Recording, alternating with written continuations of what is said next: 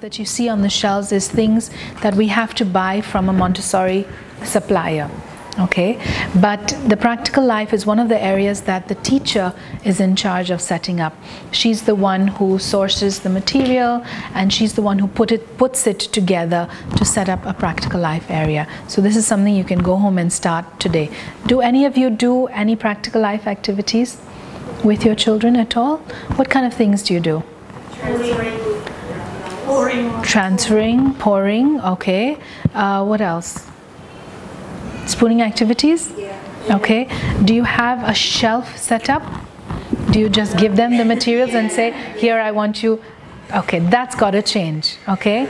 These are the little things that, like I said, we read about this activity and we say, that's nice, let me do it with my children, but we're not doing it completely correct. So you won't get all the benefits that Montessori has to offer.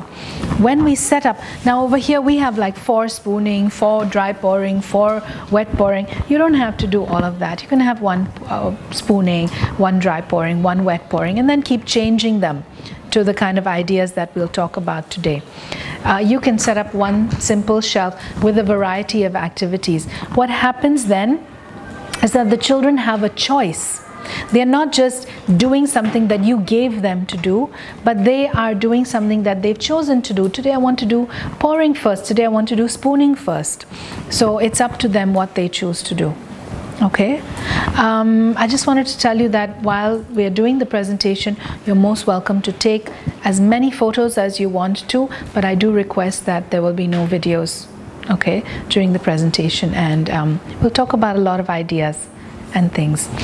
Um, things that you have to keep in mind before you set up a practical life activity area or you set up any Montessori activity area. Things should be in order.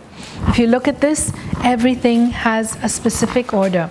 Spooning is the easiest activity of all, so it comes first.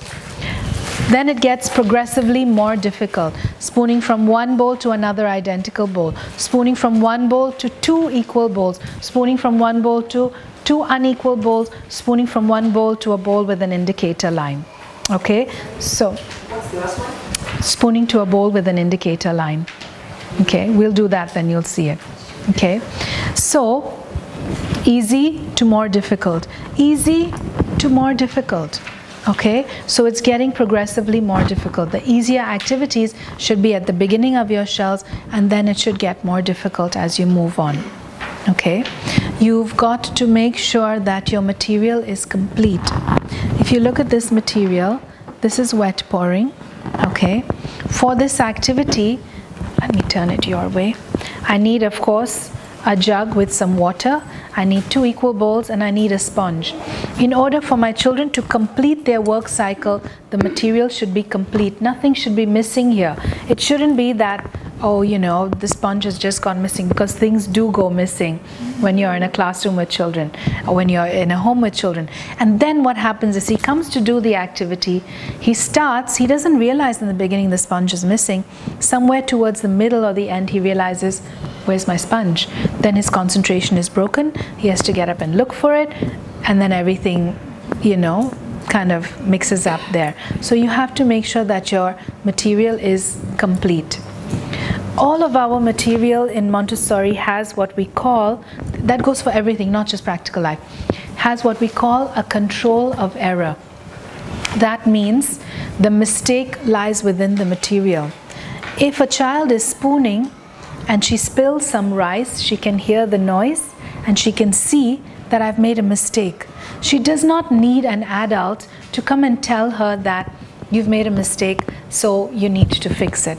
When we work in traditional schools, then most of our work is worksheet based, right? So the teacher will give me an activity sheet and I have to do my math or my writing. Then I'll give it back to her and she'll look at it and she'll say, Oh, this is not correct. She'll circle it or she'll cross it or she'll erase it or something and she'll give it back to me. I don't know how my mistake came about, but I have to go and fix it.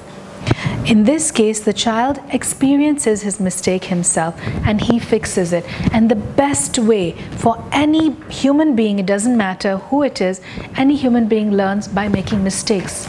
That's how we improve ourselves. There is no device that you're using here, whether it's your pen, whether it's the clothes you're wearing, or your gadget, they were all developed after making hundreds of mistakes, right? And perfecting it. So, this is in this classroom, it's a safe place to make mistakes because mistakes are what help us learn. All right, that's why the control of error for everything lies within the material. Like I said to you before, every material teaches one thing. Either we are spooning, or we are dry pouring, or we are wet pouring, or we are transferring one lesson at a time. We're not mixing everything up into one lesson. The materials should be beautiful, they should be pretty things, they should be real, they shouldn't be pretend activities, all right? They shouldn't be like a princess tea set or something over there, but real things. It still can be plastic, but it can be real. They should be identical in except for the one varying factor. So over here, I have this is my dry pouring shelf. Dry pouring from one jug to another jug, dry pouring from one jug to two equal containers, dry pouring from a jug to two unequal containers, dry pouring to a container with an indicator line. If you look at it from a distance, everything is matching and coordinated, right? Only one thing changes every time. Okay, so you have to keep that in mind. Everything is otherwise neat and orderly.